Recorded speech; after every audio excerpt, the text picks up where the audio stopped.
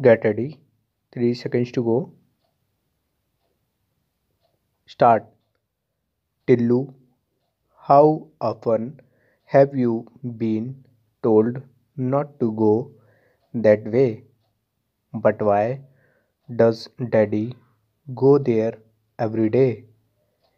Because that's his job, Tillu. That's why was an underground passage.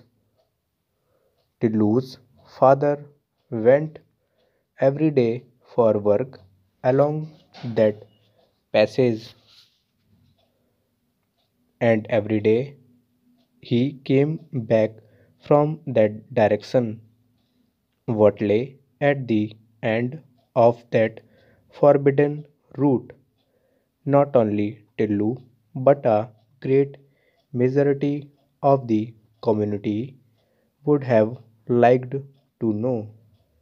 Tillu's father was one of the select few permitted to go that way. The above conversation invariably took place between Tillu and his mother whenever he insisted on following his father. Today, however, was different. Tillu's father was enjoying a siesta at home and Tillu managed to get hold of his security card. Then, evading his watchful mother's eye, Tillu made his way to the forbidden passage. A metal door barred his entry, but Tillu had watched his father slip the magic card into a slot. He did the same, and the door opened noiselessly. A well lit passage seemed to beckon him.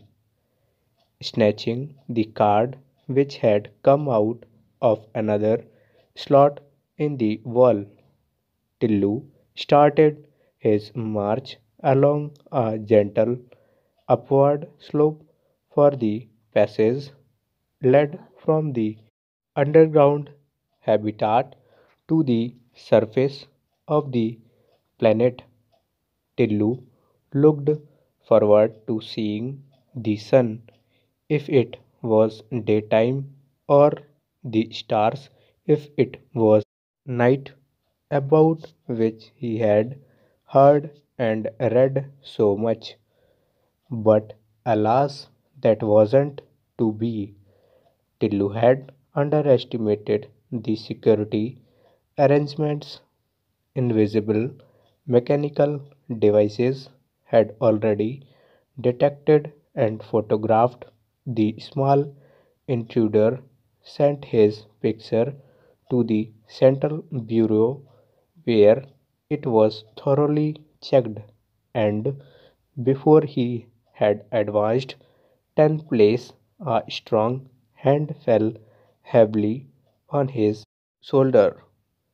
Gently but firmly, he was escorted by the security staff back home to an anxious and angry mother. While he was being scolded, he received help from an unexpected quarter. Let me explain to him, darling, said his father, who had just got up. If he is properly briefed, he will not do such a thing again. He started to explain. Listen, Tillu, I work on a surface where an ordinary person cannot survive because the air is too thin to breathe and where the temperature is so low that you would freeze to death. But, Daddy, how do you manage to survive? because I go well equipped in a special suit with a reservoir of oxygen. I can keep warm, and my boots are specially designed to make it easy for me to walk on the surface. What's more, I have been trained to survive and work on the surface. There was a time when our forefathers lived on the surface quite naturally. Indeed, they did so for millions of years. But times changed. The very sun which had provided us with sustenance turned hostile. It changed only slightly, but the change was sufficient to upset the balance of nature on this planet. First, the birds became extinct, the animals followed. The fish couldn't bear it anymore either.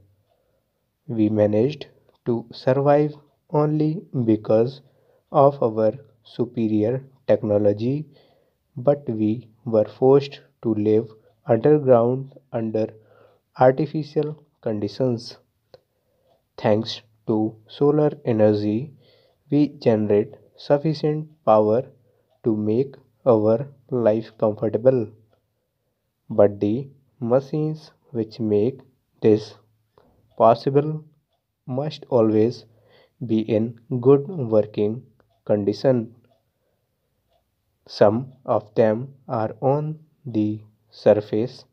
I belong to the team whose responsibility it is to keep watch on them and to service them. Daddy, can I join the team when I grow up?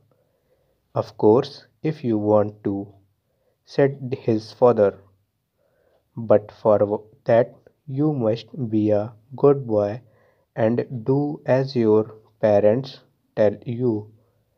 His mother had, as usual, the last word. Next day, when Tillu's father went to work, he found the control room full of excitement.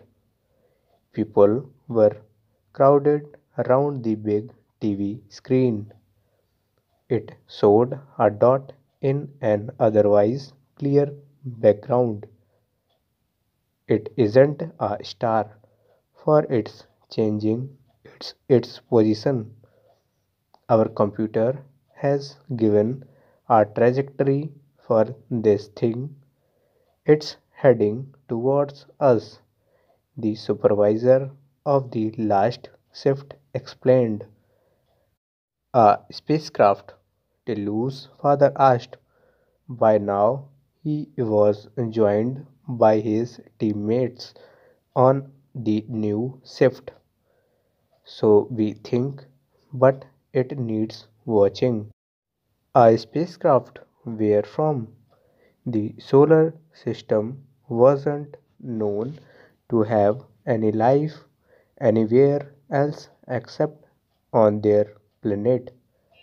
Tillu's father recalled the ancient days recorded in the archives at the Center Bureau, when their ancestors had a well developed space program and had searched the solar system with manned and unmanned spacecraft and found that they were indeed alone.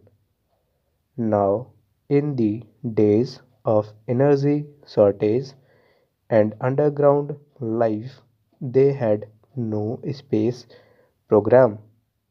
They could only watch impotently from their vantage point.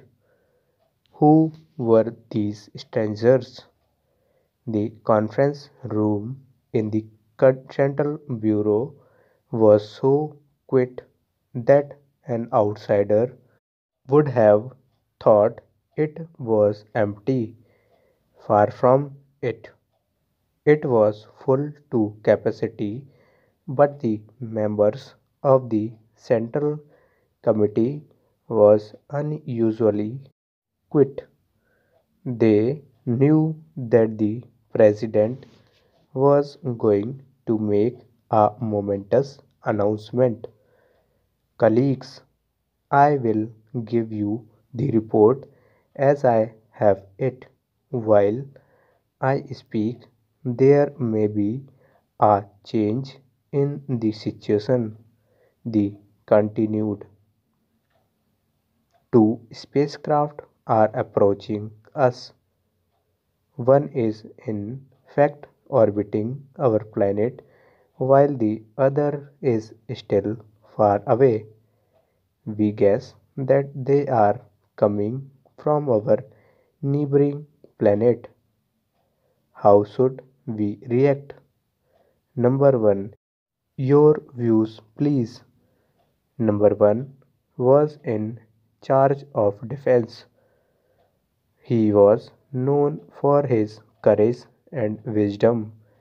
Sir, if we wish, we can totally destroy these spacecraft with our missiles, but that won't make us any wiser. We do not have the capacity to render these aircraft unoperational in space, but should they land, we can render them ineffective anytime we choose. Our reports says that they do not contain living beings, they only have instruments. Number 2. Your opinion, please. The president asked the scientist on the committee. Full stop.